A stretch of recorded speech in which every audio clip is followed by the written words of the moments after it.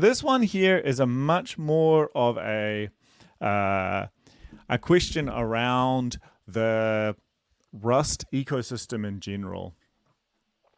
I applaud. So Todd, by the way, so the, this one uh, came up in actually my in a course that I'm running called um, "How to Learn Rust," and I'll just give people a a bit of a link. Um, I'm just typing now. The uh, and one of his questions was like, it strikes me that there is a lot of drama at the moment. and the drama is kind of terrifying for someone who is, you know, considering Rust. What should you do? And the my short answer is that the drama, or at least your perception of the drama, um, isn't as significant as you might think for people who are deciding to use the language. Excuse me.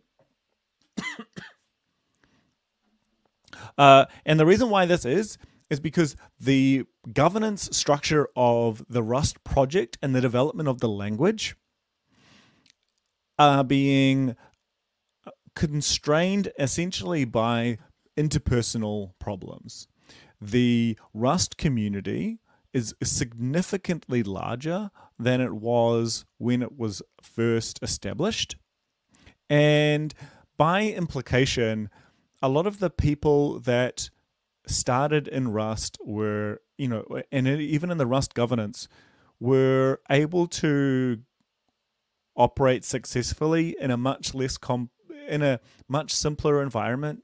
Um, the structures themselves will continue to increase or develop, um, but this actually, in my view, doesn't actually impact your ability to kind of use the type system or use the Rust compiler.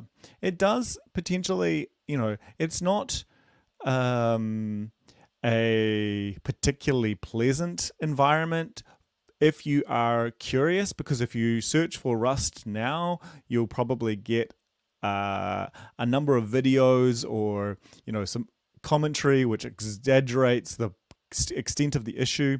I know, for example, that the, the trademark issue that um, uh, and and if you're not familiar, Rust trademarks were um, the Rust trademark, so the Rust logo itself, and the name Rust um, as for programming are owned by the Rust Foundation, at least within the United States. It turns out that that even though we live in on the internet, intellectual property are still restricted to national boundaries. So it's kind of a bit of a um, an interesting one there. Anyway, uh, for all intents and purposes, the Rust Foundation owns the Rust trademark and the rights to use the Rust trademark. And one of the things that kind of caused a very significant rift in the community was that people such as myself uh, would no longer be able to just uh, so they the the project members or the other thing is that there is a separation between people that work on the Rust project the compiler and its the standard library and the, some of the associated tooling from the foundation itself now, what's interesting about the trademark issue was that the foundation looks like it was pushing out a draft proposal that would restrict people's ability to use the Rust trademark. And uh, and by the way, I think this is a completely legitimate thing for them to do. So what they are trying to prevent is people selling courses who don't know Rust or who do uh, who essentially proclaim that they are official or endorsed in some way without actually having any kind of endorsement or credibility. Now, the uh, the Rust trademark issue was conflated or confused partially because of who was actually drafting the draft. That it came from the Rust project, not you know. You look into who actually created the the the the, the draft it wasn't actually anyone within the foundation. And yet, lots of the foundation staff members have actually sustained huge amount of abuse, which I find particularly irritating and like really devastating that uh, that essentially the Rust community has kind of disintegrated into like piranhas or or like it's just it's just we're just feeding the trolls at this point. And i don't think that that's particularly useful.